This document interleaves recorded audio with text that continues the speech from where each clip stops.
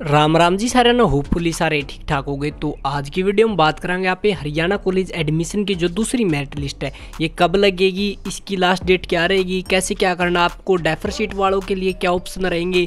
जिसका data not found आ रहा था, उसका क्या रहेगा? और जिन बच्चों ने एडमिशन लिया, उनके बारे में। तो पूरी की पूरी जानकारी देंगे आपको इस वीडियो में। तो वीडियो को आखिरी तक ज़रूर देखना।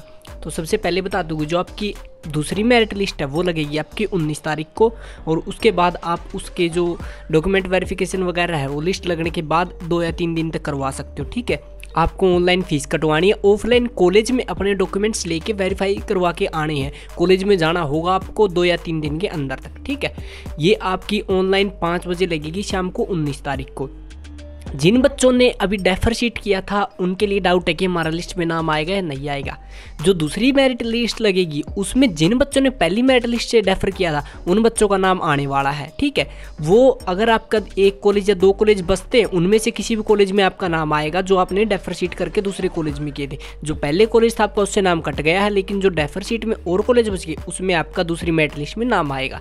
जिन बच्चों ने डॉक्यूमेंट वेरिफिकेशन नहीं करवाई है नई फ़ीस पे की है, उन बच्चों का नाम पहली लिस्ट से तो कट गया, लेकिन दूसरी लिस्ट से भी कट गया है, ठीक है? अगर उन्होंने आज अगर डॉक्यूमेंट वेरिफिकेशन नहीं करवाई तो उनका ना ही दूसरी लिस्ट में नाम आएगा।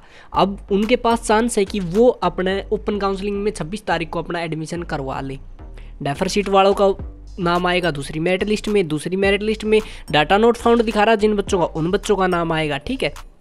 उसके बाद आपकी जो ये लिस्ट है, बता दिया कि पाँच बजे लगेगी, उन्नीस तारीख को लगी, ठीक है? बहुत सारे बच्चों का डाउट था कि दूसरी मेरिट लिस्ट के ऊपर भी वीडियो बनाओ चेक कैसे करनी है वो स्टेप बाय स्टेप बता रखा है। जैसे पहली मेरिट लिस्ट चेक करनी थी वैसे ही। बाकी डिस्क्रिप्शन में नीचे वीडियो का लिंक दे देंगे कि कैसे आपको लिस्ट चेक करनी है। तो होप करता हूँ वीडियो समझ आ गई होगी। तो चैनल को सब्सक्राइब कर देना। मिलते हैं जल्दी ही नई वीडियो लेकर तब तक के लिए राम राम।